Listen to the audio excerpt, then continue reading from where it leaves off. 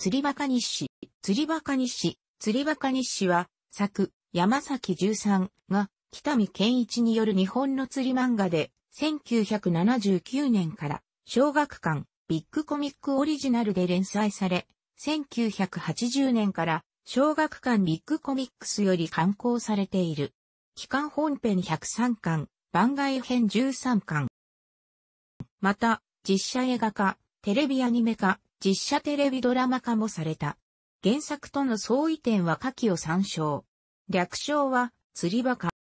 万年平社員、営業職のサラリーマンである、浜ちゃんこと浜崎伝介は、上司の佐々木課長に教わった釣りにすっかりハマってしまい、自他共に認める釣りバカに。ある日浜ちゃんは、ひょんなことから知り合った、スーさんという初老の男性を釣りに誘う。しかしこのスーさん、他ならぬ浜ジャンが勤める資本金50億円の中堅ゼネコン会社、鈴木建設株会社の社長、鈴木一之助だったのである。この二人の奇妙な友情を中心に、浜ちゃんの釣りバカぶりがもたらす珍騒動に振り回される、佐々木課長他を描く人気シリーズである。第28回、昭和57年度小学館漫画賞、青年一般部門受賞。サザエさん方式で物語が進められているが、小太郎の成長過程は描かれている。作画担当については、北見の他にも何人かの候補で検討を行っていた頃、担当編集である林洋一郎の草野球チームの対戦相手に、助っ人として北見がいたことからそれも何かの縁ということから決定なった。1980年7月以降、本編と番外編に分かれて刊行され続けている。1988年、昭和63年から2009年、平成21年にかけて、松竹系にて、1995年、平成7年1999年、平成11年を除き毎年一本新作が公開された。全22作品の脚本を山田洋次が手掛け、男は辛いよシリーズと並び松竹を代表する国民的映画シリーズでもあった。本校では一作目と全体について記述し、シリーズ各作品については該当の項を参照のこと。男は辛いよの同時上映作品として1988年、昭和63年12月に第一作、釣りバカ日誌が公開され、松竹もそれほど力を入れてはいない B 面映画であったものの、公開後の評判も良く、特に、厚見清の逝去により、男は辛いよシリーズが終了となってからは、松竹を支える看板映画シリーズとして制作された。当初は第一作のみで完結する予定で、ラストもそのように作られているが、シリーズ化により、第一作と二作以降は繋がらなくなっている。主演の西田、三国両名の高齢化もあり、2009年、平成21年12月公開の第22作、釣りバカ日誌20ファイナルをもって終了した。地上波によるテレビ放送は TBS 系列が最新作、地上波初公開の優先的放送権を持っているが、それ以外の作品は民放語系列すべてで放送されている。また、アメリカ合衆国、カナダ、プエルトリコを放送対象地域とする NHK 国際放送テレビジャパンが数作品を放送している。原作より釣りに対する描写は薄められ、西田敏行演ずる、浜ちゃんのベタなキャラクターと、三国連太郎の渋めのスーさんとのやりとりがいい味を出している。浜ちゃんとスーさんの魅力を引き出す重要なキャラクターである。浜ちゃんの妻、みちこさん役は、シリーズ1から6、及び7作目、釣りバカ日スペシャルまでを石田絵里が演じ、シリーズ7以降は浅田美代子が演じている。また、浜崎の家は一戸建て、マンションなど毎回変わっている。男は辛いよ虎次郎の演談に西田敏行が浜ちゃん役で一シーンのみ、亀を出演したことがある。1988年、昭和63年12月24日より、松竹系にて公開された。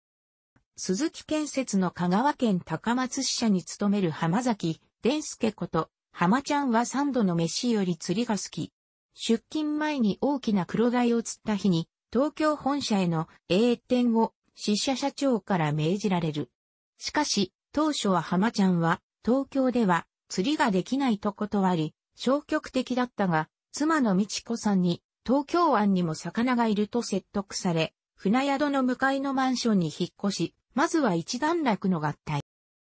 初日から遅刻ばかりで車内ではあくびばかりの毎日を送る浜ちゃん。近くの食堂で憂鬱な顔をした男と出会う。出会ったばかりの男に、こんな風にヒラメは骨だけ残して食べるものだ。それが魚に対する供養だと残りを食べてあげる。美智子さんと知り合ったのも同じパターンだった。連絡先を通じて気晴らしにと釣りに誘う。しかし、この男がワンマン社長の鈴木一之助こと、鈴さんだった。登山の格好で現れた男をスーさんと呼び、東京湾を楽しむ。初めてながら大量になる。夜は、みちこさんから気さくな歓迎を受け、初めての本格的な釣りに疲れて眠り込み、そのまま浜崎の家でお泊まり。数日後に浜ちゃんの勤めている会社に連絡しようとして秘書から我が社の社員だと知る。問題児の浜崎は世の中一生懸命な奴ばかりじゃつまらない。会社だってアジもメバルもサバだっていろんな人がいるから面白いというのに妙に説得される。スーさんを食うに食わずの孤独な老社員だと思い込んでいたが、偶然、会社に訪れたみちこさんは、鈴さんの蘇生を知って、私たちを騙していたのねと涙ぐむ。事情を知った浜ちゃんも、スーさんとの関係を電話を通じ、断ち切ってしまう。その後、浜崎の突然の栄転もコンピューターの入力ミスと分かって、浜崎は本社営業係長の昇進が約束されるが、浜崎はこれを断り、高松に帰ることになった。別れの言葉もなく、鈴さんとの別れを惜しんだ美智子さんは、新幹線からスーさんに電話をして、ひどいこと言って、ごめんねと謝罪し三人のわだかまりも解ける。主要人物は、レギュラーキャストを参照。2002年11月から2003年9月までテレビ、朝日系列、フルネット24局にて、テレビアニメが放送された。放送時間毎週土曜19時30分20時。テレビ朝日と東映アニメーションの制作による実質上の前番組は2002年9月までローカルセールス枠で土曜朝9時55分に放送されていたののちゃんである。本作の映像化権は劇場版映画を制作する松竹がすでに抑えていたため、東映アニメーション制作でありながら協力として松竹の名もクレジットされた。北見はアニメ化をすると、アニメ終了とともに原作の人気もなくなり、連載が終了となってしまうことを危惧して、アニメ化には反対の立場を取ってきたが、自分も61歳となり後を気にすることがなくなったことからアニメ化を承諾した。当初は浜ちゃんが最初から釣りバカである点や、ゴールデンタイムでの放送という関係から、合体描写がない外はほぼ原作に沿っていたが、途中から浜ちゃんの仕事風景よりは釣りにうつつを抜かしながらも、妻と子供を大事にする浜ちゃんの姿や、浜崎一家の中の良さをメインにしたオリジナルの単発、ストーリーが中心となっていった。また、飼い犬ハゼ太郎の声が、河津康彦から新藤直美に変更され、本編開始前には、魚編の漢字の読みを当てさせる。お魚漢字クイズが設けられた。当時テレビ朝日で放送されていた同じ東映の特撮作品、爆流戦隊、アバレンジャーとのコラボレーションとして、双方にゲスト出演したストーリーもある。アニメでは、小太郎がアバレンジャーの糞という設定がある。これは、テレビ朝日プロデューサーの中島剛が両番組を担当していたことから実現したものである。このほか、ゲストキャラクターには、イアン・ソープ、テレビ朝日が中継をなっている、世界水泳選手権の宣伝を兼ねた出演や、アザラシのたまちゃんも登場していたほか、主題歌は20話以降、当時テレビ朝日で放送されていた、マシュー、エスベストヒト部のマシューミナミが担当している。2008年11月から、大砲薬品、ソルマックの CM キャラクターとして、約5年振りの復活を遂げた。2013年5月より東京 MX にて再放送を行っていた。2002年12月14、21、28日、2003年1月4日、4月5日、6月21日、8月9日は特番のため休止。特番放送として、クレヨンしんちゃんや、あたしんちと合同放送されている。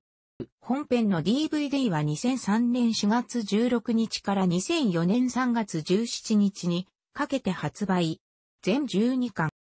釣りバカ日誌新入社員、浜崎伝介。釣りバカ日誌新入。社員は、正木伝介のタイトルで、2015年10月23日から12月11日まで、毎週金曜日20時から20時54分に、テレビ東京系の金曜8時のドラマで、浜田だけ主演で放送された。連続ドラマ化されるのは、今作が初めてとなる。映画版で、浜崎伝介、浜ちゃんを演じた西田敏行が、ドラマ版では、鈴木一之助、スーさん役で出演する。浜崎伝介の新人時代、入社初年度にスポットライトを当て、時代設定を2015年に変えて描かれるオリジナルストーリーが展開される。なお、映画版の制作、配給を手掛けた松竹がドラマ版の制作も担当し、映画版の監督及びチーフ助監督である朝原雄三と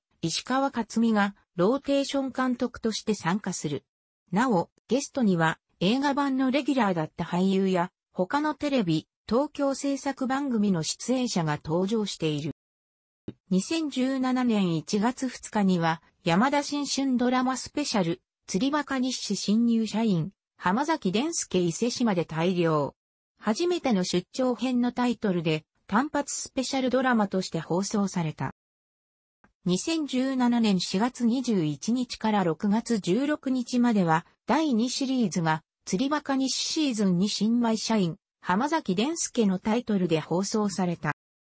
2019年1月4日には単発スペシャル第2弾が釣りバカ日誌新米社員浜崎伝介瀬戸内海で大量。結婚式大パニック編のタイトルで放送された。当該会では原作漫画及びアニメ版や映画版でも描かれなかった浜ちゃんと美智子の結婚がオリジナルストーリーで展開された。また映画版で浜崎美智子を演じた浅田美代子が本作では美智子の母役で出演。若年期が浜田だけにそっくりと話題になっていた日野昌平が本作で浜崎伝介の父役で出演し、浜田との初共演が話題となった。作中で美智子が作った料理は放送終了後に料理、アプリクックパッドにてレシピを公開している。楽しくご覧になりましたら、購読と良いです。クリックしてください。